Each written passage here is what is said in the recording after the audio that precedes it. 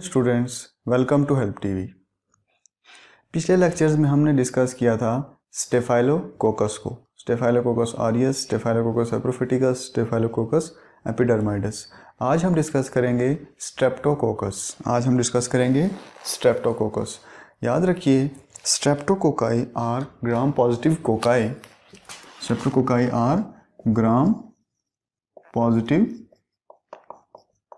cocci cocci मतलब in the form of round form में पाए जाते हैं। एंड इनकी एक और प्रॉपर्टी क्या है कि these are in form of chains they are present in the form of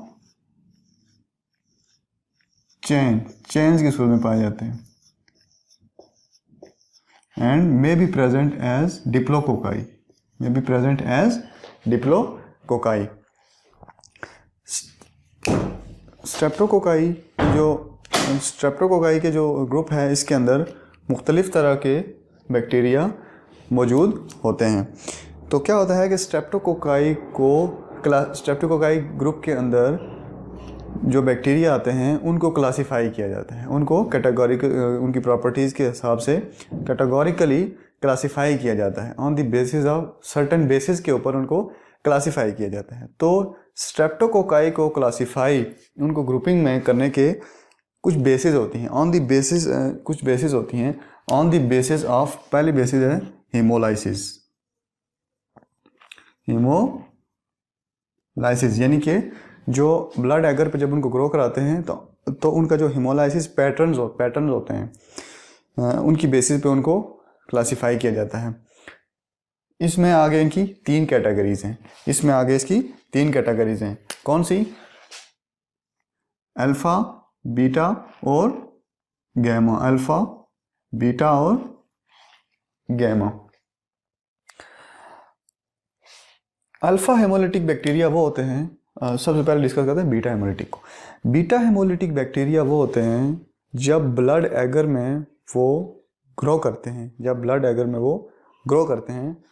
तो जिस जगह पे उनकी कॉलोनी होती है, जिस जगह पे उनकी कॉलोनी होती है फ़र्स्ट क्या ये बैक्टीरिया की कॉलोनी है। तो इसके अराउंड वो क्या करते हैं? ब्लड को क्या करते हैं? हिमोलाइज कर देते हैं। क्लियर हो जाता है एरिया तो this is clear zone of haemolysis यहाँ से लाइट आसानी से पास हो जाती है। तो ये कंप्लीट हिमोलाइसिस ऑफ़ ब्लड कहते हैं। ब्लड करते हैं। आरबीसी को हिमोलाइज कर देते हैं। तो इसको हम बीटा हिमोलाइटिक कहते हैं। दूसरे नंबर पे आते हैं अल्फ़ा हिमोलिटिक अल्फ़ा हिमोलिटिक को पार्शियल हिमोलाइसिस काज करते हैं। पार्शियल हिमोलाइसिस में पार्शल इमोलाइसिस जोन इस तरह बनता है, लेकिन इस दरमियान में भी ग्रीन ग्रीन हल्का हल्का शेड आता है। तो इसको हम पार्शल हिमोलाइसिस कहते हैं। पार्शल हिमोलाइसिस जो बैक्टीरिया काज करते हैं, वो अल्फ़ा हिमोलाइटिक की कैटेगरी में आएँगे। उसके अलावा आ जाते हैं gamma haemo gamma haemolytic are basically a haemolytic non haemolytic वो हिमोलाइसिस काज नहीं करते। तो ये कुछ बेसिस हैं इनको स्टेप्टोकोकाई को कैटेगराइज करने की। तो alpha haemolytic are partial hemolysis, beta hemolytic are complete hemolysis, or these are gamma are non-hemolytic. Okay okay. जो दूसरी बेसिस है जिसके ऊपर उसको क्लासिफाई किया जाता है this is called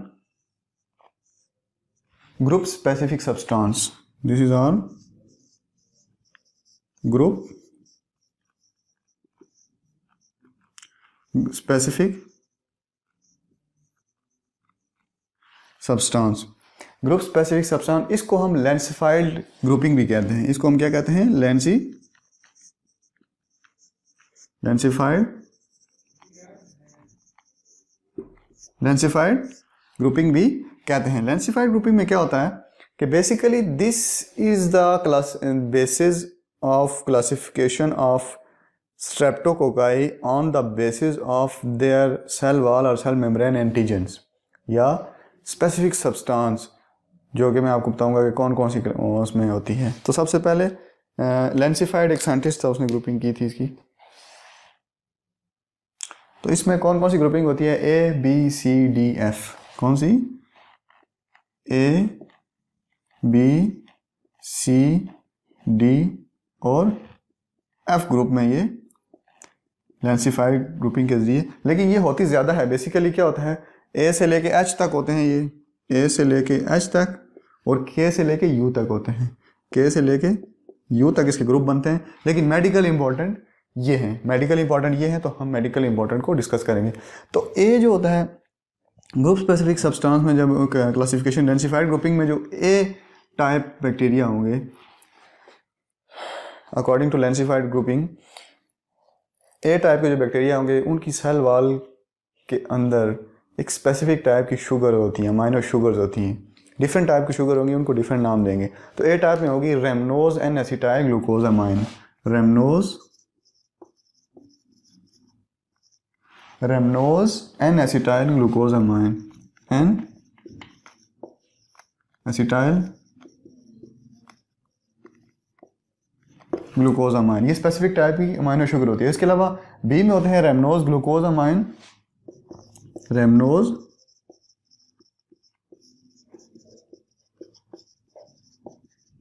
rhamnose glucose amine. Polysaccharide poly polysaccharide इसके अलावा सी में जो होता है, वो rhamnose and acetyl glucose amine होते हैं। Rhamnose and rhamnose and acetyl glucose amine नहीं अमाइन ये स्पेसिफिक टाइप ऑफ़ शुगर्स होती हैं जिनकी बेस पे इनको बैक्टीरिया को क्लासीफाई ये बहुत मोर देन 90 टाइप्स की भी हो सकती हैं ये। लेकिन ये मेडिकल इंपॉर्टेंट में ये डिस्कस कर रहे हैं यहाँ पे। उसके अलावा जो ग्रुप डी होता है वो glycerol teichoic acid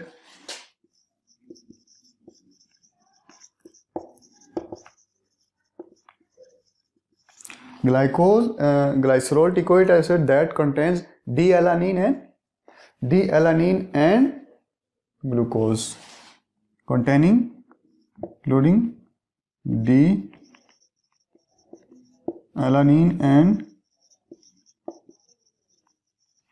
glucose F में आ जाता है कि gluco glucopyranosyl gluco, gluco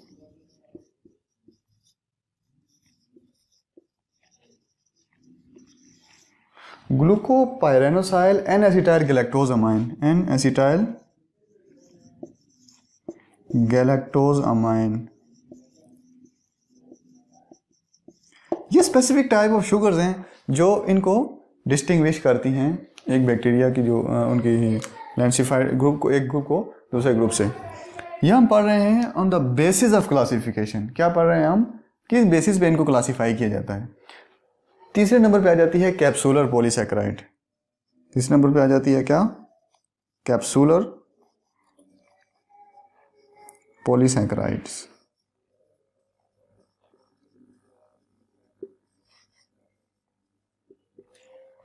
bacteria की आउटर कवरिंग के बाहर एक सब्सटेंस होता है प्रोटेक्टिव सब्सटेंस उसको कैप्सूल कहते हैं कैप्सूलर एंटीजेंस की बुनियाद पे कैप्सूलर पॉलीसेक्राइड की नेचर की बुनियाद पे इनको जो क्लासिफिकेशन की जाती है, वो भी एक इम्पोर्टेंस अहमियत की हामिल है। लेकिन उसको इतना ज़्यादा वाइडली वाइडली इस्तेमाल नहीं किया जाता। चौथे नंबर पे आ जाती है biochemical properties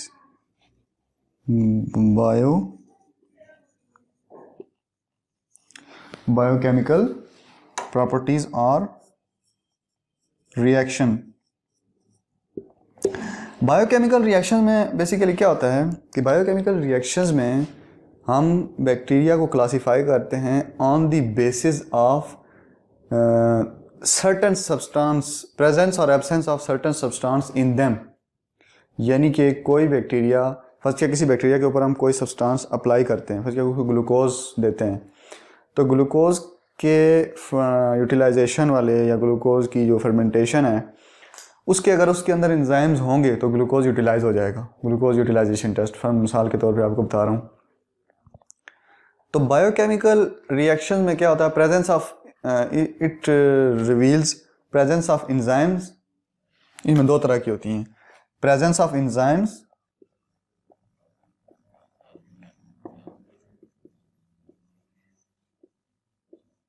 और susceptibility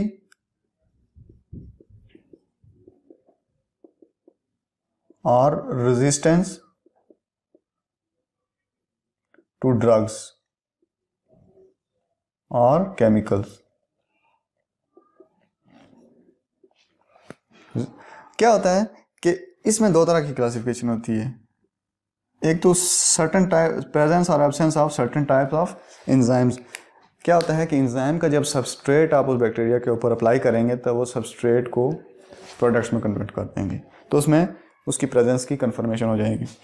Susceptibility of resistance of drug मतलब ड्रग्स की हम देखेंगे कि कौन सा बैक्टीरिया इस ड्रग से किल हो जाता है इनहिबिट हो जाता है, और कोई उस पर इफ़ेक्ट नहीं होता। तो ये भी क्लासिफिकेशन की एक जो है वो वैलिड टाइप है।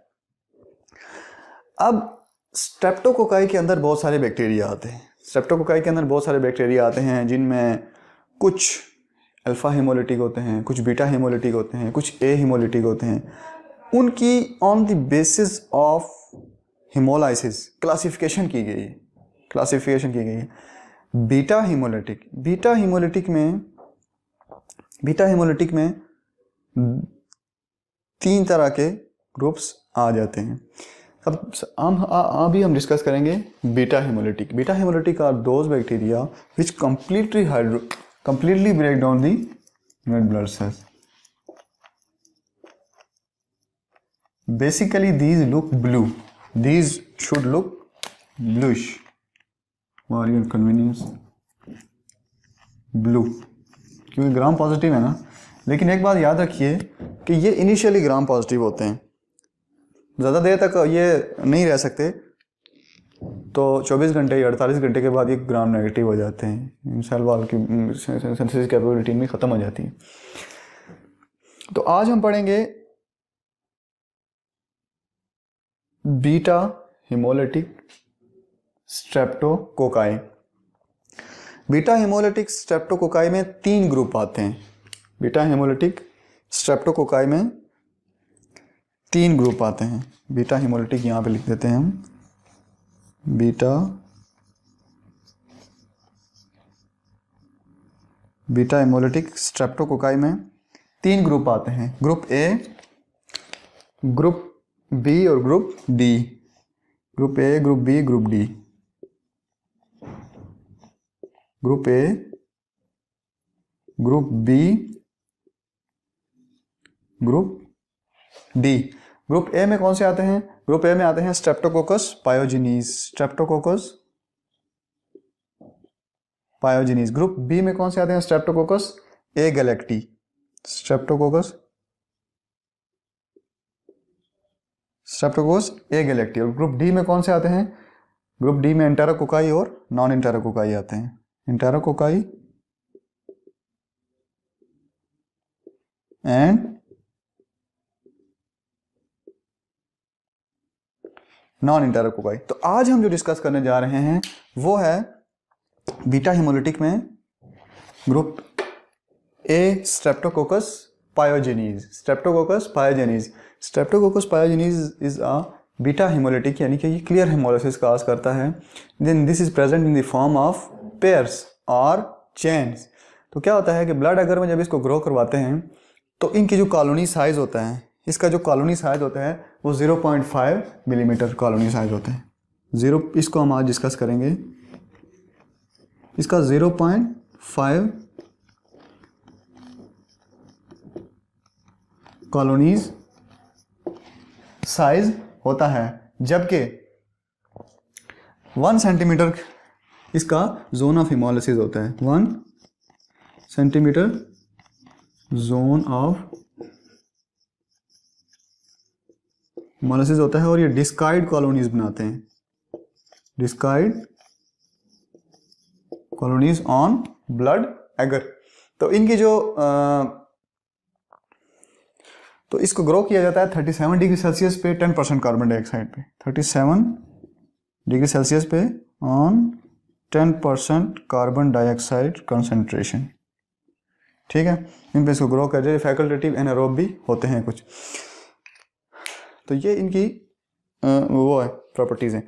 अब हम इनकी पैथोजेनेसिस पे डिस्कस पैथोजेनेसिस से पहले हम इनकी टॉक्सिन्स एंड एंजाइम्स क्या डिस्कस करेंगे हम इनकी?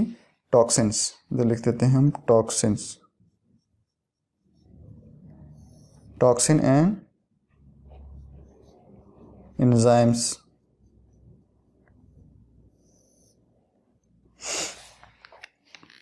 basically they are present in the form of throat as a normal flora and sometimes they cause pathogenesis when they invade they cause invasion and uh, इनके जो इंजाइम्स होते हैं, इनमें सबसे पहले आ जाता है स्ट्रेप्टोकाइनेस पहला इंजाइम कौन सा है इनका? स्ट्रेप्टोकाइनेस स्ट्रेप्टो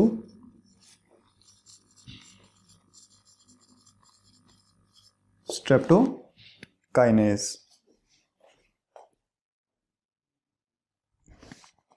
स्ट्रेप्टोकाइनेज को हम फाइब्रिनोलाइसिन भी कहते हैं। स्ट्रेप्टोकाइनेज को हम फाइब्रिनोलाइसिन भी कहते हैं। होता क्या है कि बेसिकली व्हेन जब टिश्यू किसी टिश्यू पे ये अटैक करते हैं। आगे मैं इनकी पैथोजेनेसिस भी बताऊँगा कि कौन कौन सी बीमारी। बेसिकली इनको फ्लैश ईटिंग यानी कि मसल ईटिंग बैक्टीरिया कहते हैं। तो जब ये टिश्यू पे अटैक करते हैं या उस टिश्यू में जब क्लॉट बन जाता है, यानी कि क्लॉट बनता है, इनकी पैथोजन इनकी जो स्प्रेड होती है उसको रोकने के लिए तो किसी टिश्यू में जब क्लॉट बन जाता है तो उस क्लॉट को ब्रेक डाउन कर देते हैं with the help of streptokinase यानी कि फाइब्रिनोलाइसिन फाइब्रिनोलाइसिन क्या करता है? फाइब्रिन को लाइस कर देता है। तो क्या होता है कि फिर मूवमेंट होती है टिश्यू में बॉडी के अंदर ये मूव कर सकते हैं। वगरना ये क्लॉट के अंदर जो है वो ट्रैप हो जाते हैं। तो ये एक इंजाइम होता है स्ट्रेप्टोकाइनेज इसको स्प्रेडिंग फैक्टर भी कहते हैं। इसको स्प्रेडिंग फैक्टर इस्तेमाल करते हैं। उसके अलावा डी ऑक्सीराइबो न्यूक्लियसिस दूसरे नंबर पर इसके इंजाइम है DNase deoxyribonuclease ये क्या करता है कि इट काजेज द डेजोल्यूशन और डिस्ट्रक्शन ऑफ़ डी यानी कि सेल्स की ये लाइसिस काज कर देता है। पस बना देता है। पस पस नहीं कह सकते आप। अलबत्त ये कि जो सेल होते हैं, उनकी डाइजेशन कर देता है। ये गेंग्रीन भी बहुत काज कर देता है। ओके गेंग्रीन भी काज कर देता है टिश्यू के अंदर। तीसरे नंबर पे आ जाता है हाइलोरोनिडेज तीसरे नंबर पे कौन सा आता है? Hyaluronidase Hyaluronidase is the enzyme which causes the cleavage of hyaluronic acid, which is the uh, component of the ground substance of the connective tissue. Connective tissue के अंदर जो ग्राउंड सब्सटेंस होता है उसके अंदर ये हाइलोरॉनिक एसिड होता है तो हाइलोरॉनिक एसिड की ये ब्रेक डाउन कर देता है जिसके नतीजे में इसकी स्प्रेड में आसानी होती है टॉक्सिन्स की जब हम बात करेंगे तो स्ट्रेप्टो एरेथ्रोजेनिक टॉक्सिन्स टॉक्सिन की जब हम बात करेंगे तो एरेथ्रोजेनिक टॉक्सिन्स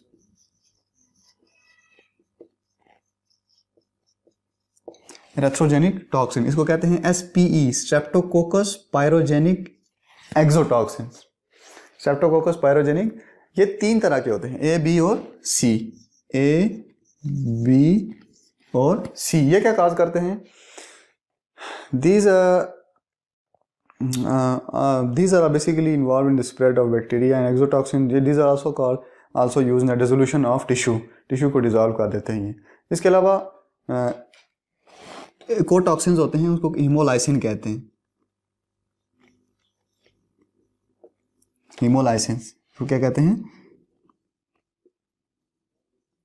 हीमोलाइसिन हीमो का मतलब होता है ब्लड लाइसेंस का मतलब होता है ब्रेक डाउन तो ये ब्लड की ब्रेक डाउन कर देते हैं हीमोलाइसिन दो तरह की होती है हिमोलाइसिन को स्ट्रेप्टोलाइसिन भी कहते हैं। हिमोलाइसिन को स्ट्रेप्टोलाइसिन भी कहते हैं। ये दो तरह की होती हैं, एस और ओ। यानी कि स्ट्रेप्टोलाइसिन एस और streptolysin O. These are basically the toxins of streptococcus pyogenes तो क्या होता है these break down the RBC RBC की ब्रेक डाउन काज करते हैं। तो इनके खिलाफ एंटीबॉडी टाइटर भी रेज हो जाता है बॉडी के अंदर इन्फेक्शन के बाद तो उसके हम मैयर भी करते हैं लैब के अंदर anti anti streptolysin O titre भी मैयर करते हैं एंटी स्ट्रेप्टोलाइसिन एस टाइटर भी मैयर करते हैं। अब हम आ जाते हैं इनकी पैथोजेनेसिस पे। अब हम आ जाते हैं इनकी पैथोजेनेसिस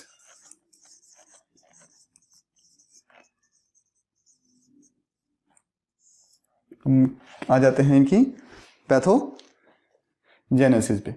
जब हम पैथोजेनेसिस की बात करते हैं तो ये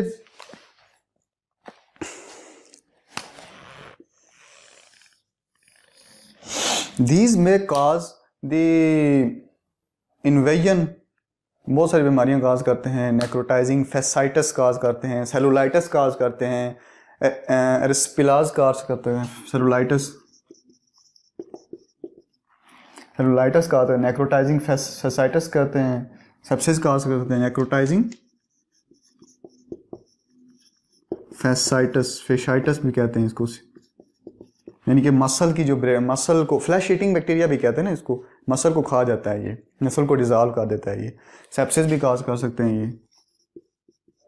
जिसके नतीजे में डेथ भी हो सकती है मोस्ट ऑफ़ द केसेस में डेथ भी हुई है पेशेंट्स की। इसके अलावा सोर थ्रोट काज करते हैं ये सोर थ्रोट पायोडर्मा काज करते हैं ये। ये मेडिकल टर्मिनोलॉजीज हैं, इनकी पिक्चर्स के बगैर आप समझना बहुत मुश्किल है। इनकी पिक्चर्स इन डिज़ीज़ की पिक्चर्स के बगैर इनको डिस्क्राइब करना ज़रा डिफ़िकल्ट होता है। उसके अलावा ये सबसे जो इम्पोर्टेंट चीज़ है, इनकी जो पोस्ट स्ट्रेप्टोकोकल डिज़ीज़ होती हैं, जैसा कि रोमेटिक फीवर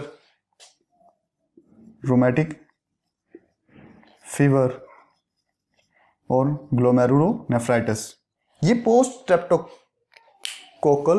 डिज़ीज़ होती हैं। क्या होता है कि आपकी बॉडी को स्ट्रेप्टोकोकल पायोजेनीज का इन्फेक्शन हुआ। इन्फेक्शन होने के नतीजे में स्ट्रेप्टोकोकस पायोजेनीज के मुख्तलिफ़ स्पेसिफिक सब्सटेंस के ख़िलाफ़ एंटीबॉडी बनती है। वो एंटीबॉडी क्या करती है? वो एंटीबॉडी फिर उस बैक्टीरिया की इनगल्फमेंट में हेल्प कराती है और उस बैक्टीरिया को वहाँ से रिमूव कर देती है। अब स्ट्रेप्टोकोकस पायोजेनीज की ये प्रॉपर्टी है कि स्ट्रेप्टोकोकस पायोजेनीज के अंदर कुछ ऐसे मॉलिक्यूल्स होते हैं, कुछ ऐसी एंटीजेंस होती हैं कि उन एंटीजेंस की, के मॉलिक्यूलर पैटर्न्स उन वो मैच करते हैं ह्यूमन बॉडी के सेल्स एपिथेलियल सेल्स के साथ।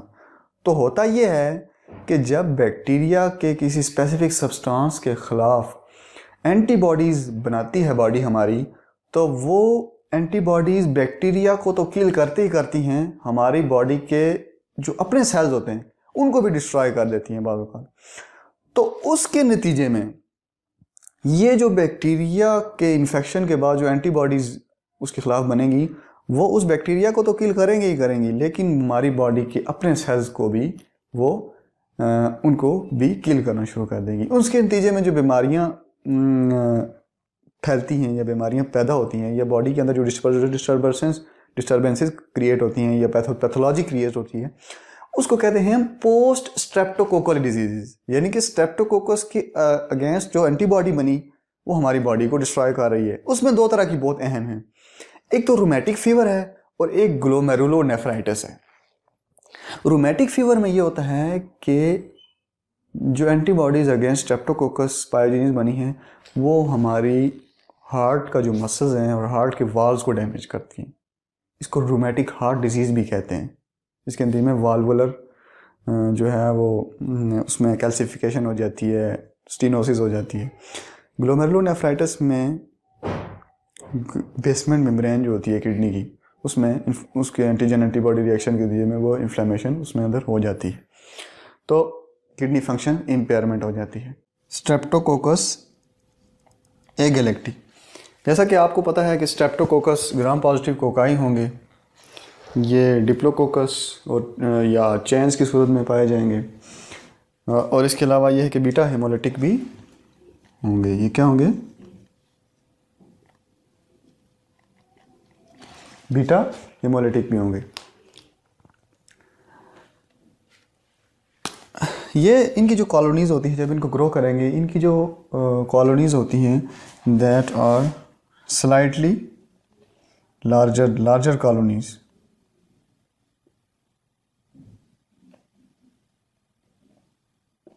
then, streptococcus pyogenes. Streptococcus streptococcus pyogenes इनकी कॉलोनीज जो होती हैं, वो स्लाइटली लार्जर होती हैं. अब इनकी जो और इनकी प्रॉपर्टी होती है कि हिप्यूरेट को हाइड्रोलाइज करते हैं दीज हाइड्रोलाइज हिप्यूरेट उसकी हाइड्रोलिसिस कॉल करते हैं। इसके अलावा these are bacitracin resistant bacitracin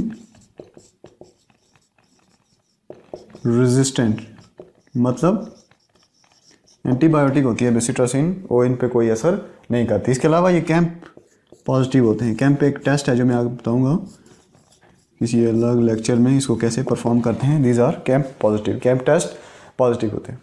basically streptococcus agalactiae जो होती है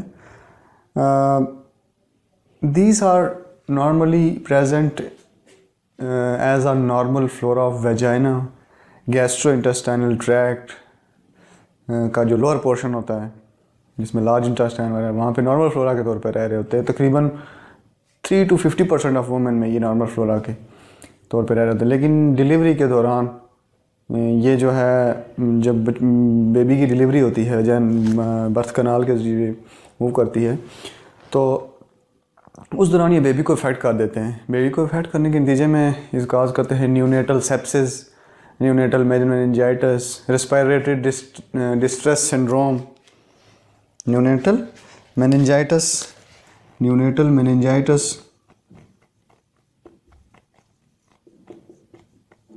Respiratory distress syndrome और इस तरह की न्यूनेटल सेप्सिस भी काज करते हैं न्यूनेटल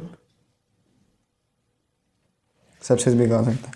इनकी जो आइडेंटिफिकेशन मेथड यही है कि इनकी कॉलोनीज ज़रा लार्जर होती हैं, होता ये भी बीटा हेमोलिटिक हैं। स्टेप्टोकोकस पायोजिनीस जो था, वो बेसिट्रासिन सेंसिटिव था। वो क्या था? बेसिट्रासिन सेंसिटिव था, यानी कि बेसिट्रासिन जब ऊपर अप्लाई करेंगे तो वो इनहिबिट हो जाता था, जबकि ये नॉट इनहिबिटेड बाई बेसिट्रासिन और इसकी जो डिज़ीज़ हैं, वो मैंने आपको बता दी हैं। अब ये आ जाते हैं ग्रुप बी में। ग्रुप डी में आ जाते हैं टू टाइप्स ऑफ़ बैक्टीरिया एक इंटेरोकोकस और एक नॉन इंटेरोकोकस यहाँ पे आ जाते हैं टू टाइप्स ऑफ़ इंटेरोकोकस और एक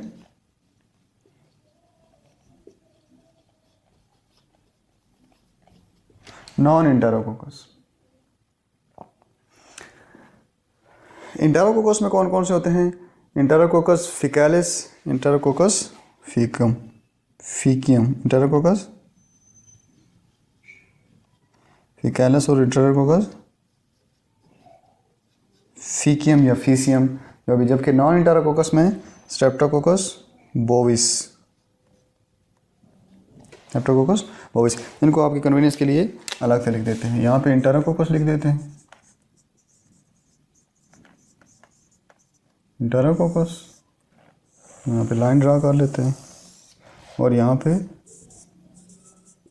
नॉन इंटेरोकोकस इंटेरोकोकस का मतलब ये है कि these are present in the enteric tract and these are not present in the enteric tract they are outside the enteric tract अब these are basically group D यानी कि ग्रुप डी में वो आएँगे दीज आए तो इस बीटा हेमोलिटिक कैटेगरी में है, लेकिन these may be alpha haemolytic are mostly these are a haemolytic ये इनकी बड़ी प्रॉपर्टी है कि दीज आर ए हिमोलिटिक या non hemolytic non hemolytic reaction mostly ये शो करते हैं, लेकिन इनको कैटेगरिकली बीटा हिमोलिटिक में डाला गया है। तो जो इंटेरोकोकस को आप नॉन इंटेरोकोकस से कैसे जो है वो डिफ्रेंशिएट करेंगे? तो जो इंटेरोकोकस होते हैं these can best grow in 6.5% sodium chloride and they can survive in bile. Okay? These are bile insoluble and survive in 6.5% sodium chloride solution. That is hypertonic solution. Hypertonic saline enterococcus these are bile insoluble bile इन पे apply करेंगे तो इनकी death uh, नहीं होगी. And these are also not killed by penicillin G penicillin G this causes the infection of the urinary tract liver and bile system और circulatory disease भी cause करते हैं जब ये ब्लड में जाते हैं ब्लड के ज़रिए स्प्रेड कर सकते हैं। दूसरे दूसरे पे आ जाते हैं नॉन इंटेरोकोकस जो इंटरिक ट्रैक से आउट होते हैं। That are bile soluble that are bile soluble and that are killed by, killed when grown in 6.5 percent sodium chloride solution तो जब इनको सोडियम क्लोराइड सोल्यूशन पे करेंगे तो ये kill these will be killed और लाइस्ड तो दूसरा दूसरा मेथड क्या है? These are also sensitive to penicillin G.